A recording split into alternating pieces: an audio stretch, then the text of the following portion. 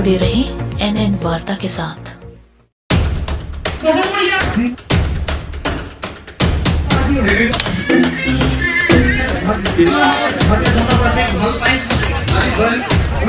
बड़ी खबर 700 परिवार जी हां 700 परिवारों ने आज विरोधी दलों को त्याग कर किया बीजेपी का समर्थन কৈ অধিক আহ, পৰিয়ালে আজি কংগ্ৰেছৰ পৰা আৰু বেলেগৰ ৰাজনৈতিক দলৰ পৰা আমাক ত্যাগ কৰি ইয়াত বিজেপি দলত যোগদান কৰে গতিকে एकता विजय और समृद्धि यूनिटी विक्ट्री एंड प्रोस्पेरिटी का ये रैली भारतीय जनता पार्टी असम कार्बी आंगलोंग जिले के 26 चुनाव क्षेत्र के हर एक कॉन्स्टिट्यूंसी में एकता विजय और समृद्धि रैली का लक्ष्य लेकर आमरी बुकाजान चिंथोंग सिंहासन लुम्बाजोंग द्वारबागोरी सरुपथार इन सारे सात एमएसी चुनावी क्षेत्र में बीजेपी के सफल रैली के पश्चात आज आठवीं rally number 19 Dhansiri MAC constituency में आयोजित हुआ, जहाँ रैली में भारी मात्राओं में जनताओं का समर्थन देखा गया।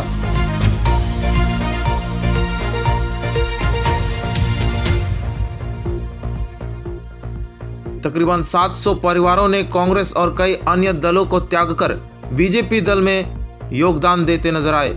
धनसरी एमएसी चुनाव क्षेत्र के एमएसी श्रीमती तिलोत्तमा हासनू और डॉक्टर तुलीराम रोंगहांग को उन सभी समर्थनकारियों को गेरुआ गमछा के साथ संबोधित करते हुए नज़र आए। उधर धनसिरी चुनाव क्षेत्र के एमएसी श्रीमती तिलोत्तमा हसनू ने अपने बयान में कहा कि धनसिरी के जनताओं को तकरीबन 30 सालों बाद पक्की सड़क का सौभाग्य मिला है, जो 26 किलोमीटर की दूरी पर बन चुकी है।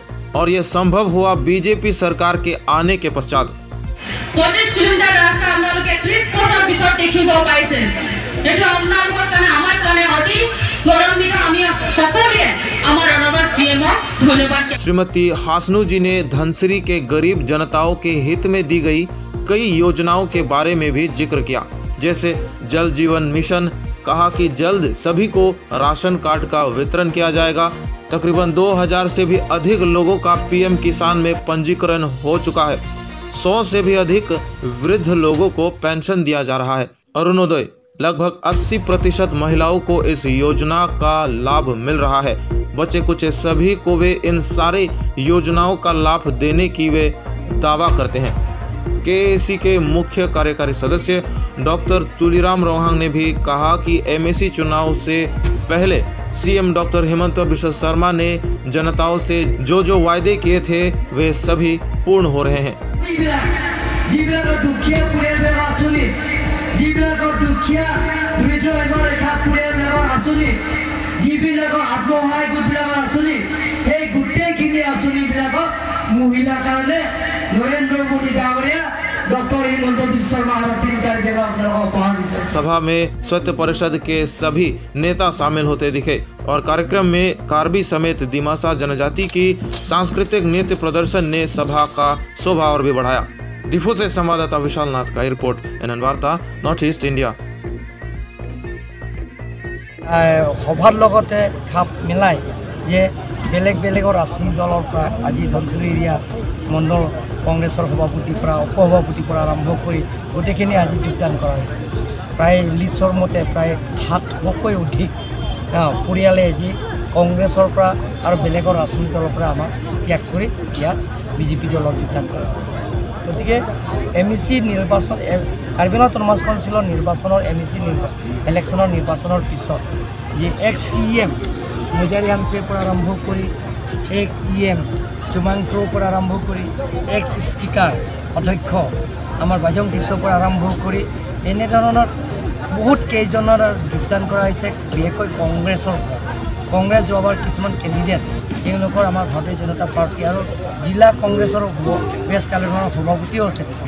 আমাৰ সাথিকাম তেওঁৰ পৰা ত্যাগ কৰি জিলাৰ সভাপতি পৰা ত্যাগ কৰি পৰা আৰম্ভ কৰি যিবিলাকৰ ex C M ex E M ex speaker এনেধৰণৰ বহুত কেইজনৰ ভাৰতীয় জনতা পাৰ্টীলৈ যোগদান কৰিছে। প্ৰায় একত্ৰিছ হাজাৰকৈ অধিক ব্যক্তিয়ে যোগদান কৰিছে। এতিয়াও যোগদান হৈ আছে। গতিকে ৰাইজৰ কাৰ্বি আংলং ৰাইজে আমাক আশীৰ্বাদ দিছে মৰম কৰিছে কাৰণ আপোনালোকে যেনে কাৰ্বি আংলঙত এতিয়া স্থায়ী শান্তি হৈছে। কোনো জাতি জনগোষ্ঠীৰ লগত সংঘাত হোৱা নাই। সকলো জাতি জনগোষ্ঠীৰ লগত মিলি আমি টিম আংলং গঠন কৰা হৈছে। হিমন্ত বিশ্ব শৰ্মা আৰু নৰেন্দ্ৰ মোদী দেশত গতিকে এনেধৰণৰ কাৰ্বি আংলঙৰ ছাব্বিছটা সমষ্টিত সমান্তৰাল হিচাপে আমি ডেভেলপমেণ্টৰ কামত এই চাৰিটা বছৰত আমি লৈ যাব বিচাৰিছোঁ। আচ্ছা আজি কংগ্ৰেছে এখন প্ৰেছ মিল আয়োজন কৰিছিলে। তেওঁলোকে অভিযোগ তুলিছে যে প্ৰায় পাঁচ হাজাৰ কোটি টকাৰ কাৰ্বি আংলঙৰ বছৰত পাঁচ হাজাৰ টকা কৰে মই এই সেইটো মই উম, যিজনে এৰিগেশ্যন Allegation দিছে। সেইটো A I B P scheme হয় সেইটো আগতে মই আপোনালোকৰ মিডিয়াৰ জৰিয়তে মই প্ৰেছ মিট দিলোঁ আজি দুই বছৰৰ আগতে এবছৰৰ আগতেও দিছে দুই বছৰৰ আগতেও দিয়া হৈছে এই গোটেইখিনি হাইকোৰ্টৰ পৰা ক্লিন চিট দিয়া হৈছে চুপ্ৰিম কোৰ্টৰ পৰা ক্লিন চিট আছে আপোনালোকৰ মনত আছেনে নাই তেখেতে মনত আছে যেতিয়া মই আমাৰ ডিফু কাছা ষ্টেডিয়ামত তাতো মই সেই ক্লিন চিটৰ কাগজত দিছোঁ আৰু লগতে মই Karbi Anglong autonomous council CM M বাংলো তাতো এটা প্ৰেছ মিট দিছোঁ। গতিকে যিটো নেকি হাইকোৰ্ট আৰু চুপ্ৰিম কোৰ্টৰ ক্লিন চিট দিয়াৰ পিছত যিটো অভিযোগ আছে আত্মসাত কৰিছে। আৰু স্পেচিয়েল পেকেজ এইটো স্পেচিয়েল পেকেজ নহয়। সেইটো সেইটো আছে এ আই বি পি এটা পাৰ্টিকুলাৰ স্কিম আছে। সেই স্কিমবিলাক বৰ আছে কিছুমান নিশ্চিত বুলি কয় কিছু আই আৰ ডি এফ বুলি কয় কিছু কিছুমানৰ এ আই বি পি বুলি কয় কি কিছুমান N R C P R বুলি স্কিম বুলি আছে সেইবিলাক ধৰ কেন্দ্ৰ চৰকাৰৰ পৰা কিছুমান আঁচনি আমি পঠালে তেওঁলোকৰ গ্ৰহণ কৰি গ্ৰহণ কৰি একচেপ্ট কৰিলে সেই আঁচনিবিলাকে দিয়ে। সেইটো স্পেচিয়েল পেকেজ বুলি নহয় কেন্দ্ৰ চৰকাৰৰ স্কিম সেইটো চেণ্ট্ৰেল গভমেণ্টৰ আঁচনি সেইটো স্পেচিয়েল পেকেজ কোনটো কম মই ডক্টৰ হিমন্ত বিশ্ব শৰ্মা ডাঙৰীয়া টু হাণ্ড্ৰেড ছিক্সটি ক্ৰ'ছত যোৱা পাঁচটা বছৰত কাৰ্বি আংলঙৰ ছাব্বিছটা সমষ্টিত যিটো স্পৰ্টছ কমপ্লেক্সৰ নামত দিছে। সেইটো বাজেটত নাই এছ অ' পি ডিও নাই। সেইটো যে আমি স্কিমটো ল'ব পাৰিম কি কি আঁচনি কৰিব আমাৰ মতে হওক মই চিন্তা কৰিছে যে নতুনকৈ উঠি অহা যিবিলাক স্পৰ্টছ লাভাৰ যুৱক যুৱতীবিলাকৰ তেওঁলোকৰ স্বাস্থ্যৰ পৰা আৰম্ভ কৰি স্পৰ্টছৰ ক্ষেত্ৰত আগুৱাই নিয়াৰ স্বাৰ্থত ছাব্বিছটা সমষ্টিত সমান্তৰাল হিচাপে দহ কোটি দহ কোটি আঁচনি আমি দেখা পোৱাকৈ লৈছোঁ আৰু উদ্বোধনো কৰিছে। সেইটো স্পেচিয়েল পেকেজ বুলি কয়। ডিফু ৰাস্তাবিলাকৰ যিবিলাকৰ আমি তাৰা লাংচৰ ৰাস্তা ৰুৰু লাংচৰ ৰাস্তা আৰু ডিফু টাউনৰ ৰাস্তা সেইবিলাকৰ স্পেচিয়েল পেকেজৰ জৰিয়তে বনাইছে। গতিকে সেইবিলাকৰ তেওঁলোকৰ মিছা অভিযোগ অপপ্ৰচাৰ।